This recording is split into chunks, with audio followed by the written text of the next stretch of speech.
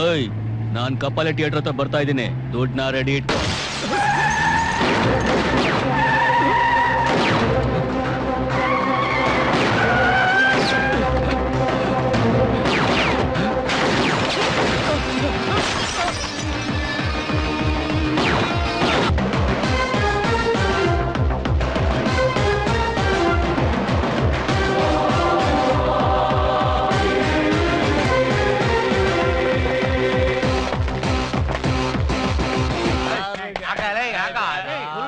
ಒಳಗಡೆ ಹೆಗಣದ ದಂಡೆ ಇರೋ ಹಾಗಿದೆ. ಇನ್ನೊಂದು ಐದಾರು ಜನ ಕರ್ಕೊಂಡ್ ಬರ್ಬೋದಾಗಿತ್ತು. ಸೂಪರ್ ಮ್ಯಾನ್ ಯಾವಾಗ ನಾವೇ ಬಂದ್ಬಿಡ್ತೀವಿ.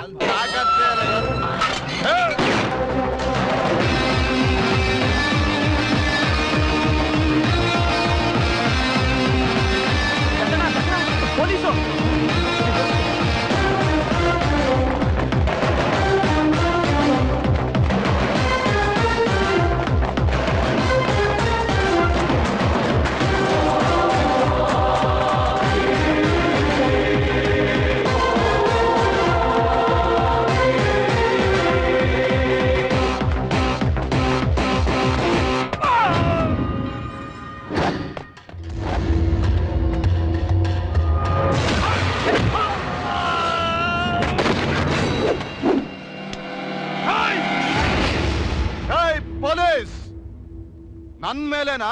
ಇಲ್ಲಿಂದ ಜೀವಂತ ಹೋಗಲ್ಲ.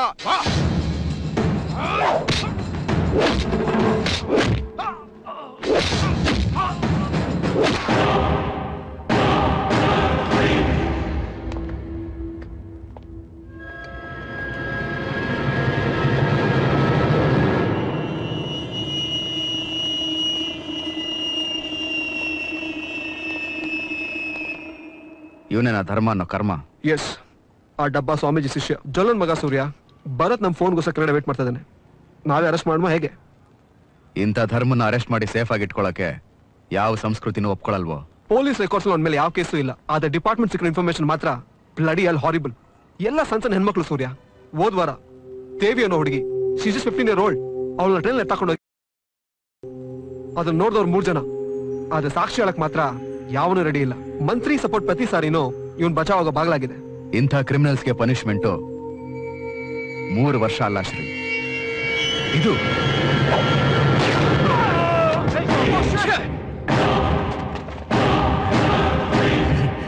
ಸತ್ವನ್ನ?